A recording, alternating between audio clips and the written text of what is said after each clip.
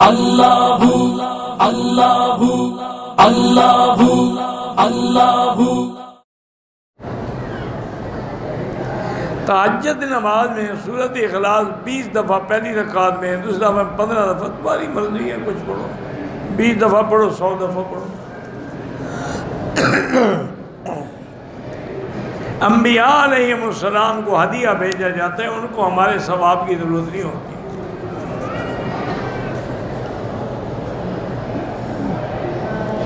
किस्तों में सामान खरीद सकते हैं हाँ खरीद सकते हैं।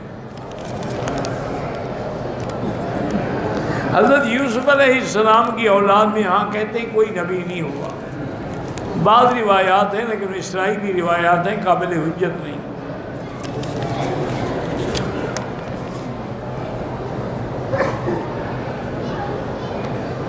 बहरहाल हज़रत मरवान इबन हकम के बारे में, किसी के बारे में भी आप बुरी बात न किया करें। क्योंकि जो लोग खैर कुरून के ज़माने में गुजर गए साहबी थे या ताबी थे या तबा ताबी थे, वो हमसे करोड़ दर्जे अफजल हैं।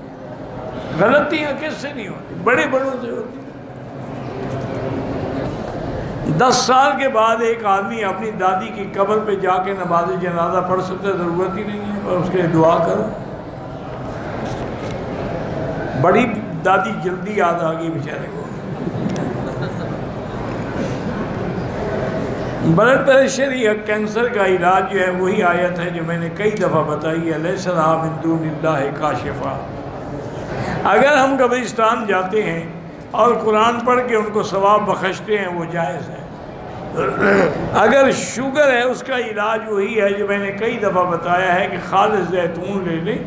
उसके दो चम्मच खाने वाले, बड़े यानी, वो निहार मुँह और रात को सोते हुए पी लिया करें। इन कंट्रोल रहेगी, ख़त्म तो नहीं होती।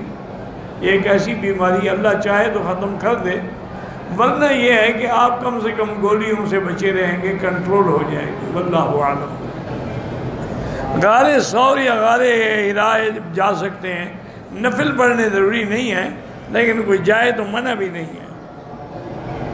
रमज़ान की तरावी नाबालिग लड़का औरतों को पढ़ा सकता है यहाँ पढ़ा सकता है।